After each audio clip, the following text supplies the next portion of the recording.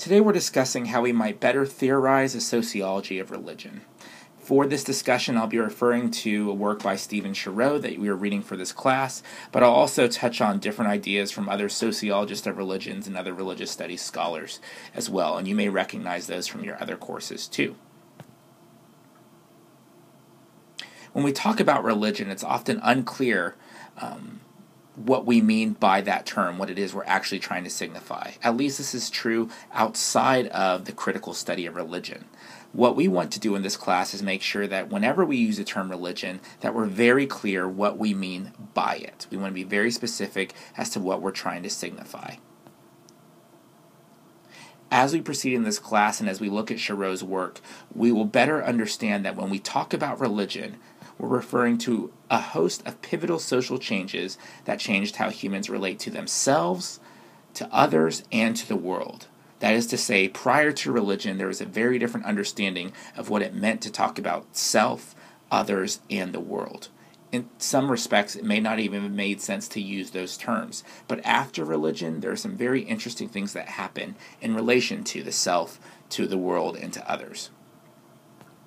We're also talking about developments that historically can be traced to Eurasia between the 8th and 2nd centuries BCE. That's not to say that religion hasn't happened elsewhere or at different at times following that. But when we discuss religion in this class, according to this schema, we're looking at what scholars have traced um, as emergences, developments that came out of Eurasia between these centuries.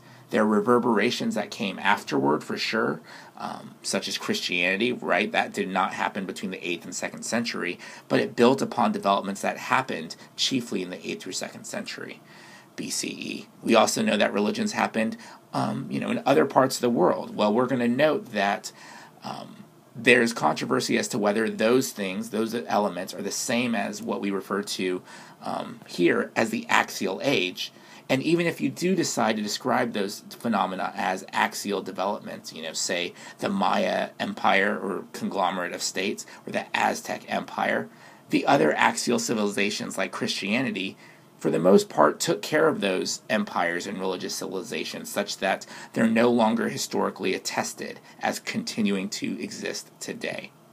So the axial age civilizations that we see existing today, that is where religion is happening today, are reverberations of things that began in the 8th to 2nd century BCE. And wherever we talk about this thing called religion, we see some phenomena like scriptures. That is, this thing that Western scholars have used to describe how people groups describe and prescribe worldviews. We see the emergence of scriptures, whether it's text or some other sort of resource um, or expression, at play in the axial civilizations that we just discussed. This is what we mean by religion as we proceed in our conversation today. A sociology of religion is interested in two things, at least for our purposes. One, that is the thick description of our data, that is the people who are doing religion. And secondly, it helps us to better define who our data is and what it is that they are doing. So these two interrelated facets um, are what we're looking for when we try to do a sociology of religion or theorize about religion in a sociological way. Sociologists of religion conduct their studies or view people in three spaces. They pay attention in three different areas. The first is religious activity. The second is religious worlds, or what we'll call contexts. And you can sort of see the reverberation of context and its relationship to texts or scriptures. Scriptures shape how people see their contexts, right? And lastly, religious orientations. This is also a very important part for our study of religion. This is where we notice religion happening. Those axial shifts happen in those three spaces of religious activity, religious world slash context, and religious orientations. We're going to break down each of these three steps, and sometimes in even smaller areas. But I want you to keep in mind what these three different types of spaces te- what they teach us about religion and the people who do it. So when it comes to religious activity, we're very much interested in the change that occurs, right? What change comes about as a result of this thing called religion? Sometimes these changes are transformative, okay? They affect the whole world, or they affect societies. People are trying to change the environment around them. Change also happens at a much more local level. It's what we call thaumaturgical change, okay? Thaumaturgy often refers to sort of wonder working or magic. Hence, I drew a little Mickey Mouse from uh, Fantasia, right? And he's got his wand and he does things and it affects the things that are just around him, right? He's able to change um, one thing into another thing. He's able to cool, do cool um, things that are of use to the people around him and to himself, right? So thaumaturgical change is often what we think of as sort of miracle working, right? Healing people, um, bringing about rain when it's there's a drought. This is thaumaturgy. So th- these both are facets of one type of religious activity. There's also another type of religious activity that we're very much interested in, and that's called maintenance. Okay? Maintenance is all about keeping intact the nomos. Nomos is just a fancy way of saying like the law, the laws of the universe, right? The physics of the universe, or even the metaphysics, right? How the world works. Um, people do things in order to make sure that those laws are adhered to or kept intact, right? Um, there's also the extrinsic, and extrinsic just means the sort of things that are just, you know, the status quo always good without question. People want to maintain the things that are good without question. They don't want to see any alteration. And that takes work, okay? So that's another type of religious activity that we're very much interested in. Another space that we'll be paying attention to is that of the religious world or context, okay? In context, re- refer to values, right? The ideas that people hold as what is significant in the world, what is meaningful. And we often learn these values and what's meaningful from our scriptures or a list or some sort of text or resource that tells us this is what is important. We also learn about, um, or we also see organizations take shape, right? People group together in different sort of conglomerates or guilds that help them better understand the world or do certain work that's useful for society. And we also see that the whole notion of a society, right, the socioeconomic and political environments become super important. So it's in the axial age that we start to see cities and empires and, and nations and things that bring people together in, in ways of identifying each other beyond just like we're kin. It becomes something about shared values, shared connections that um, help people understand the world around them. So values, organizations, and socioeconomic slash political environments are all part of the ways we see religious worlds or contexts. Lastly, we look at religious orientations. And religious orientations build upon the things that we've just discussed, right? We start to see different trends in the people who are doing this thing called religion. One thing we notice is the rationalization or disenchantment of the world. And that's not to say that the sort of um, thaumaturgical change that we discussed before goes away. But in fact, during the axial age, we start to see it systematized. We see that the wand gets replaced with thinking and um, thinking out complex ideas and arguments and explanations about how and why the world where the world works the way it does, you know, according to the nomos, right? So the magic wand gets um, replaced by things like theologies and philosophies and things that can be discussed and proved to other people, right? Or at least um, argued so that other people are convinced by them. So you get like this disenchantment feature that comes about with religion.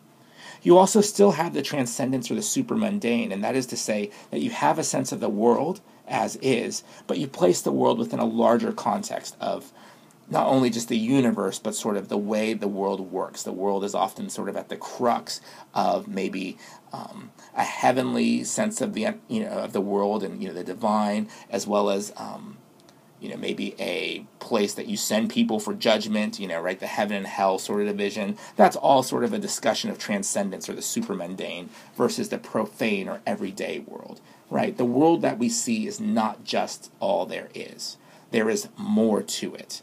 There is something super or beyond it. That's what we mean by the sort of transcendent or supermundane. And that often becomes the goal um, or even a cautionary tale for those who are doing this thing called religion. And lastly, we see universalization, right? So you have this understanding of the world, you want to be able to convince people of it, you know, rationalize your worldview to another. And it's not just the people who are just around you, it's also the people who are way far away from you, right? That your ideas are now universalizable. You can take your ideas and trans them, transport them to another society and say, hey, get on board with my worldview. It's going to be better for you. Sometimes people will even say, do it or else.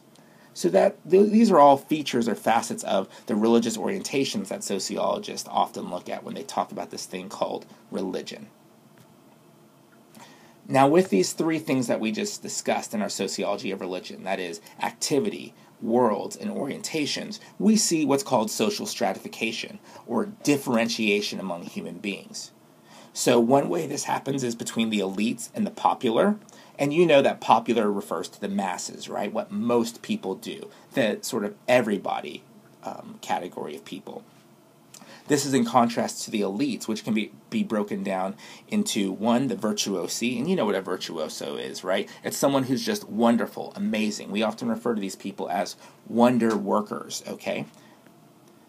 Elites can also refer to hierocrats, okay? Hierocrats is sort of what it sounds like, higher ups, okay? And these are the priests, these are officials.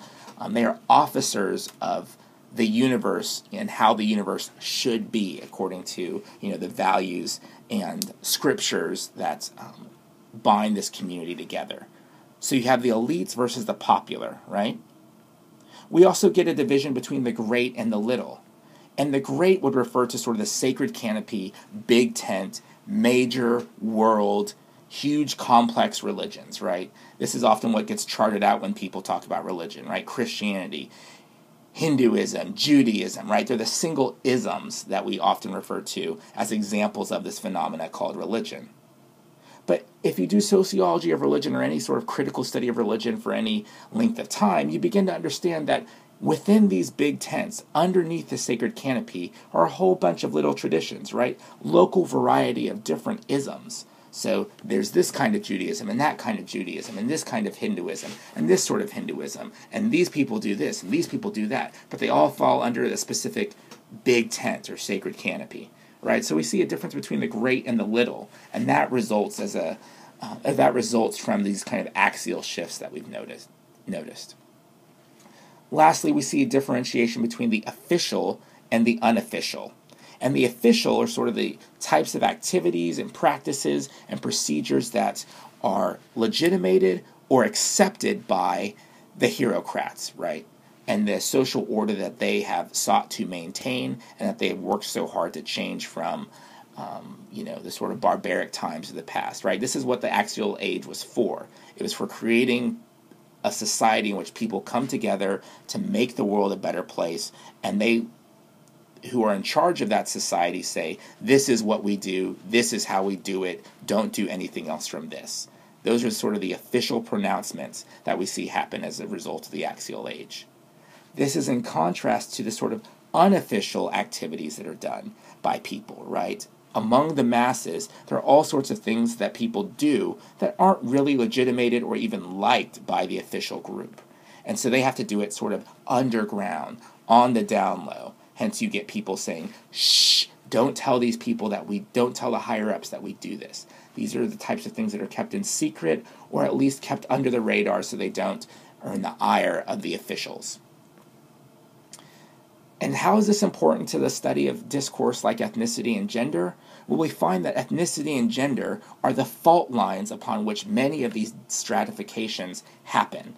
A lot of these social differences happen in regard to ethnicity and gender. So, as we go through our case studies, I want you to take careful note of how things like the difference between elites and popular, great and little, official and unofficial happen along lines of ethnicity and or gender. How is it that religious activity, religious worldviews, contexts, and orientations take shape differently around ethnicity and gender? In fact, what we'll find is that religion gives meaning to these things that we call ethnicity and gender at least in a way that was not conceived of prior to the axial age. This is what we are thinking of when we talk about theorizing a sociology of religion.